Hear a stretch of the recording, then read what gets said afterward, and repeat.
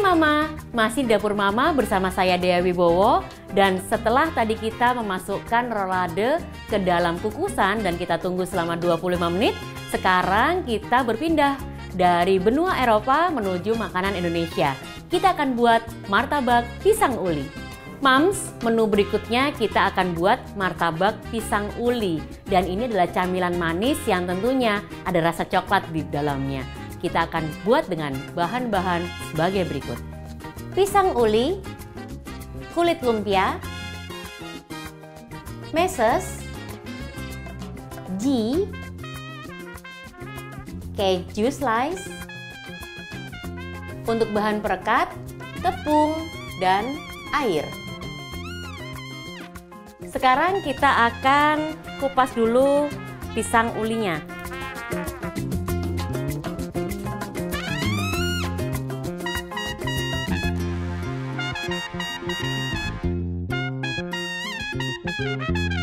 Setelah kita kupas seperti ini, lalu langsung kita potong menjadi dua bagian.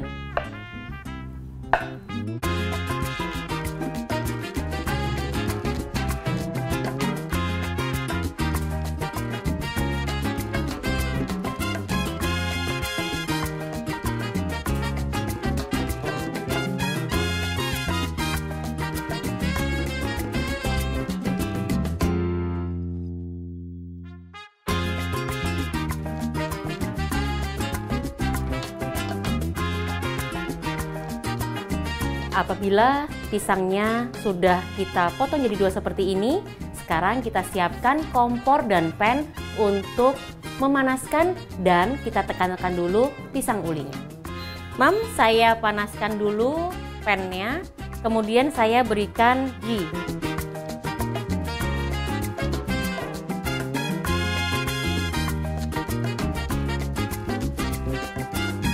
Kita panaskan dulu. Apabila jinnya sudah mulai mencair seperti ini, mam bisa langsung letakkan pisangnya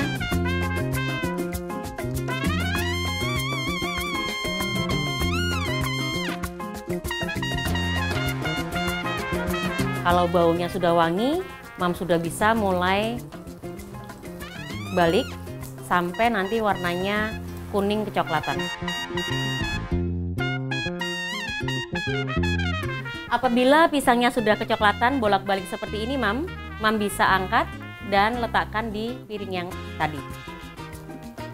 Untuk bagian yang belum, kita bisa balik lagi dan kita matangkan lagi ya, Mam. Mungkin ada yang masih coklatnya belum pas gitu. Kita masukkan lagi untuk pisang yang belum dimatangkan.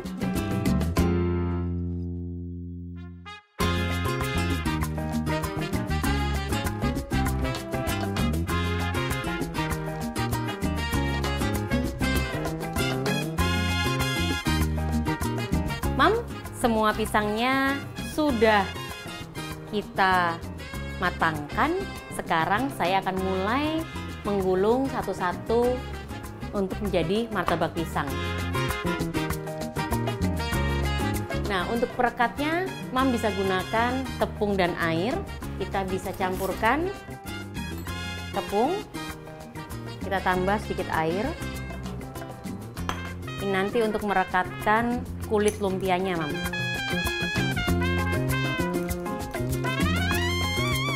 Ya. Ini kulit lumpianya. Kemudian kita bisa ambil satu pisangnya, hati-hati kalau masih panas. Lalu kita tambahkan meses di atasnya. Kemudian kita bisa ambil lembaran keju letakkan di atasnya seperti ini.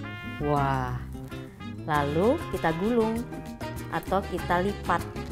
Nah, di bagian yang untuk mengikatnya kita bisa ambil sedikit perekat tadi. Lalu kita rekatkan.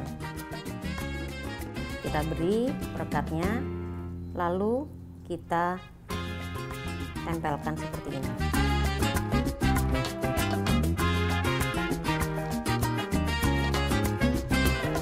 Seperti ini ya mam. Nanti bentuknya kita bisa letakkan di tempat kita piring pisang. Nah kemudian kita ulangi terus sampai semua pisang serta kulit lumpianya habis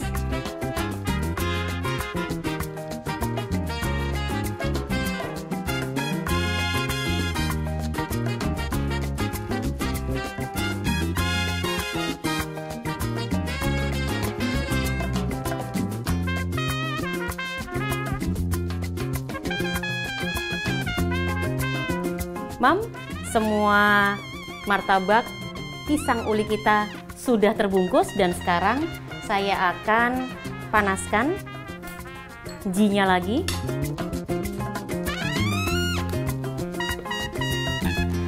Kemudian kita nyalakan kompor. Apabila jinya sudah mulai meleleh semua seperti ini, Mam, kita bisa goreng martabak pisang uli kita. Ini artinya kita menggoreng dengan minyak sedikit ya, Mam. Dan selain itu, Ji juga menambahkan cita rasa gurih dalam martabak pisang uli kita ini. Kita tunggu sebentar. Kita goreng sampai kecoklatan seperti ini ya, Mam. Kemudian kita balik. Ini untuk mematangkan kulit lumpianya dan memberikan sensasi gurih ya, Mam. Apabila sudah matang mam? Kita bisa angkat. Wah ini sudah crispy ya mam?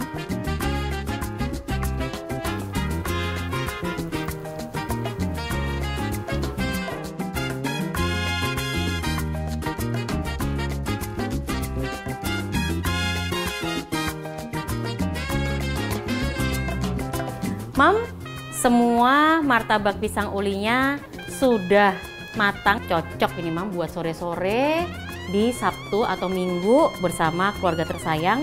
Mam, sekarang kita bisa letakkan di piring saji. Kali ini Mam bisa tata yang cantik dan Mam bisa foto untuk makanan kreasi sendiri di rumah nih Mam.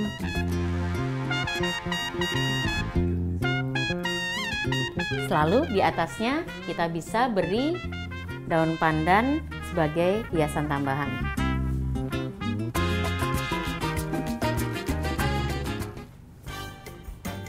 Ini dia mam, menu yang kedua sudah jadi kudapan manis untuk keluarga tersayang, martabak pisang uli. Pastinya bahan-bahan yang dibutuhkan sangat mudah didapat dan kita bisa langsung mencobanya. Mams, di Indonesia ada dua jenis martabak yang jadi favorit semua orang, yaitu martabak telur atau martabak asin dan martabak manis atau kalau di daerah sering disebut sebagai terang bulan. Walaupun namanya sama-sama martabak, ternyata bentuknya sangat berbeda ya mam. Dan tidak hanya bentuknya dan rasanya yang berbeda, tetapi asal muasal dari kedua martabak ini juga berbeda. Wah, memang kuliner di Indonesia ini beragam dan unik-unik ya, Mam.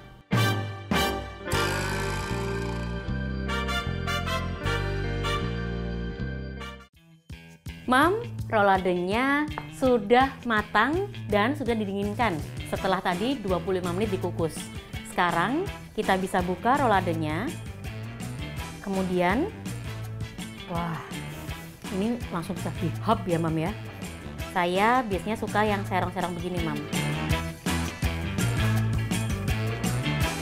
Ini adalah potongan rolade kita yang sudah jadi.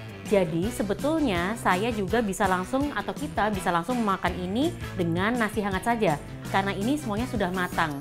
Kali ini kita akan buat dua variasi, yaitu yang dimakan langsung setelah dikukus maupun yang digoreng dengan lapisan telur. Kita taruh dulu ya, Mam, yang sudah kita potong.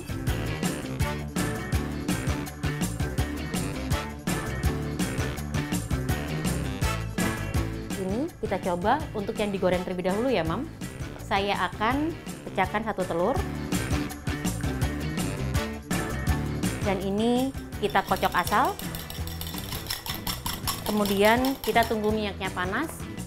Minyaknya sudah panas dan sekarang saya akan masukkan satu roladenya. Kita gulungkan di sini. Kemudian kita goreng ya, Mam.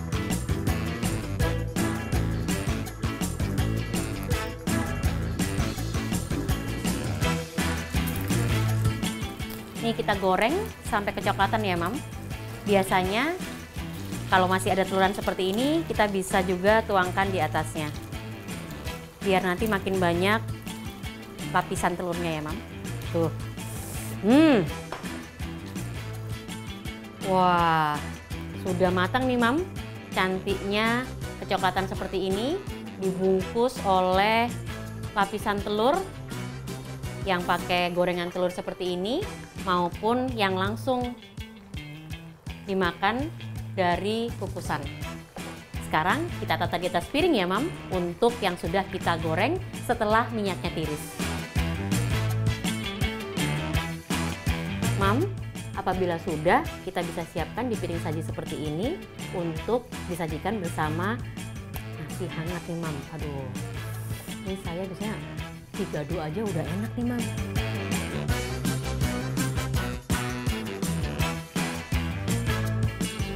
Ini dia mam, rolade daun singkongnya sudah jadi. Pastinya ini berisi tahu dan daun singkong yang kaya protein nabati dan cocok banget kan mam kalau dimakan bersama nasi putih hangat. Pastikan membuat ini kalau sudah mam bisa tag kita di Instagram dan YouTube The I Family Dapur Mama. Rolade, Mama pasti tidak asing lagi ya dengan makanan yang satu ini Rolade adalah salah satu jenis hidangan dari benua Eropa. Tepatnya Perancis dengan sebutan roulette atau ruler yang artinya menggulung. Rolade ada dua jenis yaitu rolade asin dan rolade manis. Rolade manis sering disebut sebagai Swiss roll. Nanti saya akan buat ya mam rolade manis ini pada episode selanjutnya.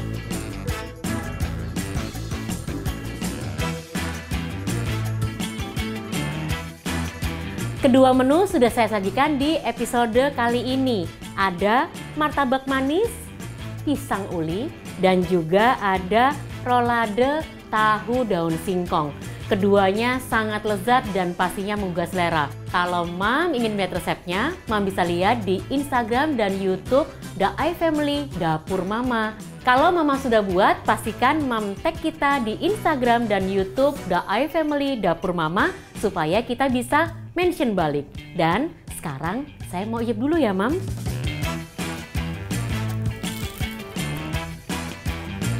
Hmm,